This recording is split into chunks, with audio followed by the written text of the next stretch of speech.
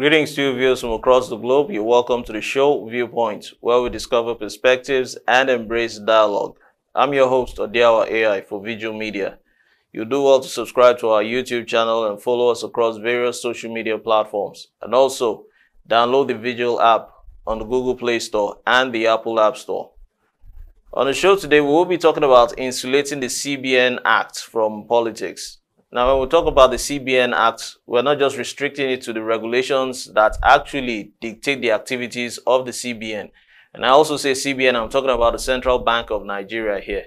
Now, these uh, should also encompass the staff from the helmsman to the least staff of the CBN and also the activities which should also be looked into, modifying or actually checkmating where their limits should get to, and they shouldn't exceed those limits.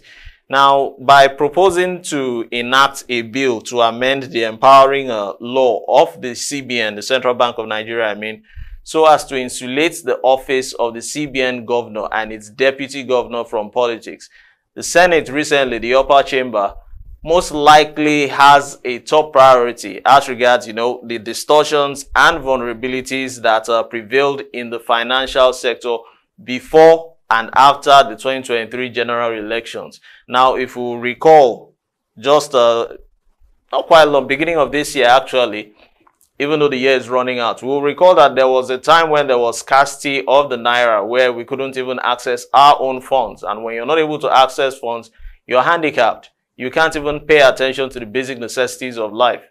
And before you say Jack, some people are tensed up and that tensing up begins to dictate all forms of uh, ill vices which might not be welcome to a sane society. Now, that was terribly, or certainly I would say, a terrible period for the nation as the head of the Apex Bank was seen as being partisan, lending serious doubts on ensuing monetary policies presented by the bank. Now, it's a period that ought not to, at any point in time, ever be reenacted in the nation. And if this move by the Senate, the Red Chamber, is actually a hidden objective. I would say it's a proposition quite merits the support of Nigerians in entirety because the proposed amendment here it seeks to bar the CBN governor and the deputy governor from participation in politics while still serving. Frankly speaking, provisions that appear to have adequately anticipated, you know, and also dealt with this uh, possibility. It was therefore inquisitive and puzzling to most Nigerians when, as at uh, last year, the former CBN governor, Godwin Emefiele, threw caution to the wind and picked a hundred uh, million naira for the presidential uh, nomination form of the APC, the All Progressives uh, Congress, I mean. Now, this APC now is a political party, and he got the form to participate in the presidential primary of the party as at last year, 2022. Now, it was a, it, there were speculations that then interest groups which were made up of rice farmers actually purchased the tickets for him. Now, I want to ask a question, and this question is what I need you to wine and dine about in your brains. If in a particular locale or jurisdiction, and this locale or jurisdiction I mean here is Nigeria, farmers who are manufacturing or producing food find it difficult to eat, where could they have possibly gotten a hundred million naira to foot, uh, foot the form for the CBN governor? Secondly, where does uh, the feature of neutrality in the civil service now apply when it comes to the CBN governor, who is now actively participating in partisan politics while still serving? Where does the role of neutrality now play? Which is a feature of the civil service. Now, the CBN had in its course of encouraging rice production declared that it has disbursed 629 billion naira. 629 billion naira is not some small figure. Now, these funds were disbursed to farmers in its uh, Anchor Borrowers Program, the ABP. Now, what actually is the ABP, the Anchor Borrowers Program? As at 2022 is actually to provide or was actually set up to provide loans in kind and in cash to smallholder farmers, farmers rather, to boost agricultural production. create jobs, and reduce food imports bill towards a conservation of foreign reserves. Now, the inflow, or rather, I beg your pardon, the outflow of interest and nomination from the allegedly bought by farmers for Emefiele became a suspect, not surprisingly though, as the same farmers that were struggling to repay the rice loans unexpectedly had loans to procure uh, party nomination forms. Now, uh, won't we say this is a circus where people should just listen to what I have just said now concerning reports and it becomes laughable. Now, going over to the uh, regulations concerning the CBN Act, Section 9 of the CBN Act of 2007 actually disallows the Apex Bank governor and his deputy from wandering into other additional activities outside their statutory task because at the bank, except they resign in writing to the delegating authority the president, who is actually the one who has vested that power in them. However, Nigerians watched now this whole incident, this whole scenario with extraordinary distress as the former CBN governor Emefiele gleefully embarked on what Mayor Ayo Part will call an excursion into the planet of uh, partisan politics. It's quite, uh, you know, absurd. And there's one thing I love Nigerians for. Kudos to us. I would relate to the uh, musician's uh, song, Fela Anikulapo Kuti. He said, Nigerians are always suffering and smiling. Even in that pain, Nigerians still smile. It's, you know, quite an irony and it's funny.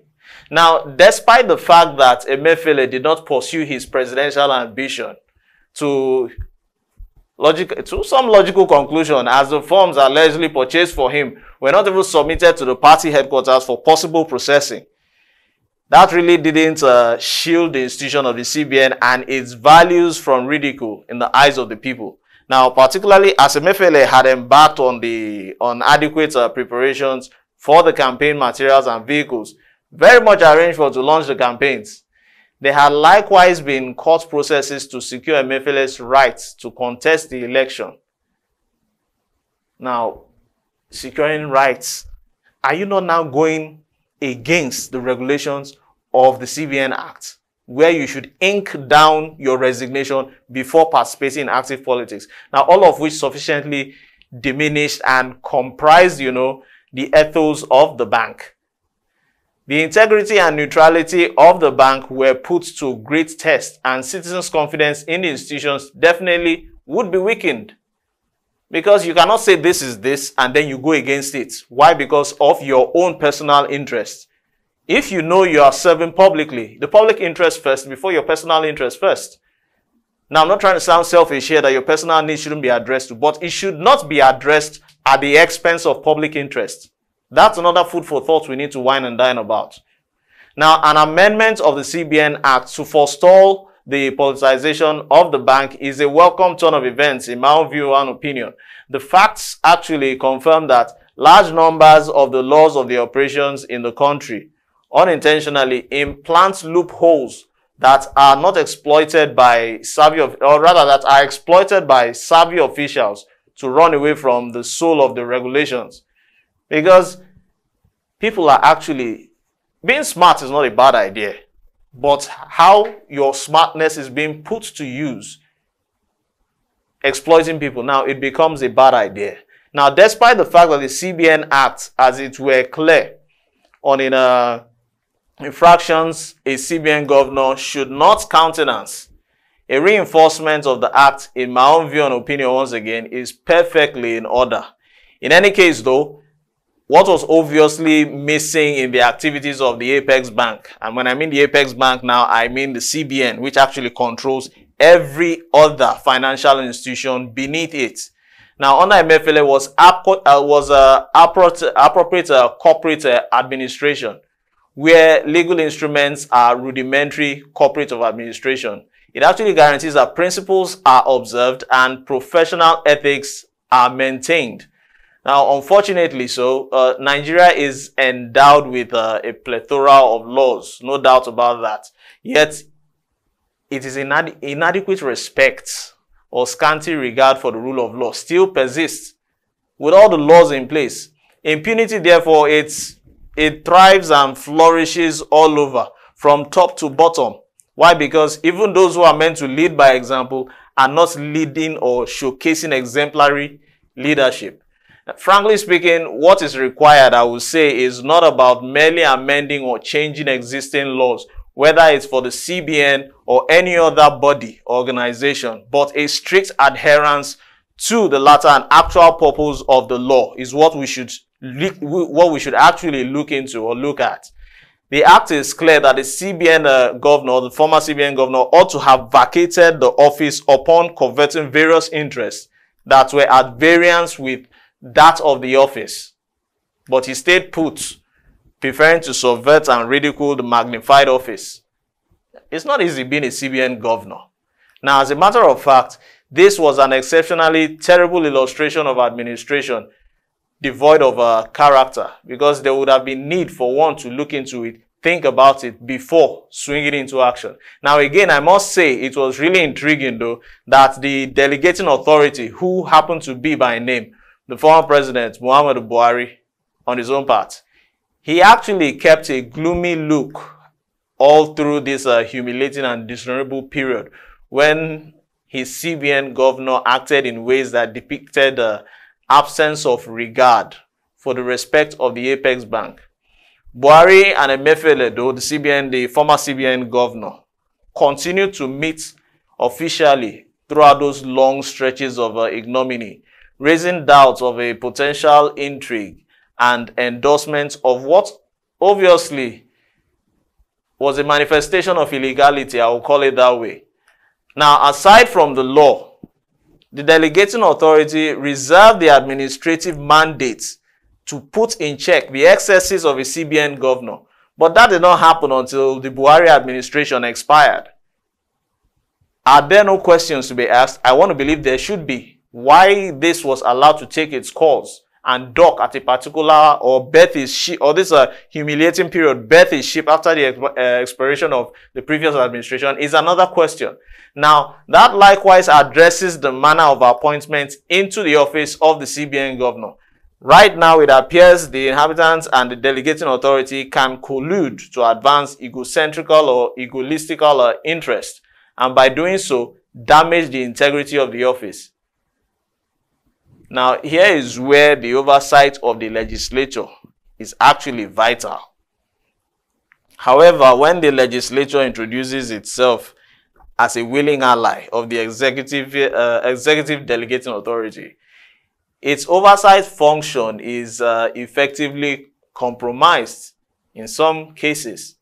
Now, what will be the solution?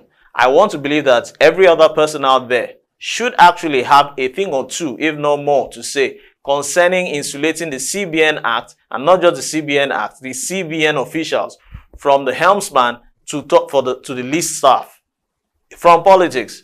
Now, might I suggest, moving on forward, that apart from reforming the laws, apart from reforming the laws rather, to reduce ambiguities and accidental loopholes, more emphasis ought to be on enthroning good character in public office. Public office ought to be approached with a clean conscience and honorable ambience. There are locales where everything necessary of the people who offer to serve is of clean conscience and knowing when to isolate personal interest from that of public interest. And I want to believe someone out there should buy into what I have just suggested in conclusion. It is on that note I draw the curtain on today's episode of Viewpoint, where we discover perspectives and embrace dialogue. I'm your host, Odiawa AI for Veegil Media as always. You would do well to subscribe to our YouTube channel, Veegil Media, and also follow us across various social media platforms and download the app to stay informed concerning politics and every other social events that might be of concern to you from the Google App Store and the Apple App Store. Thanks for watching.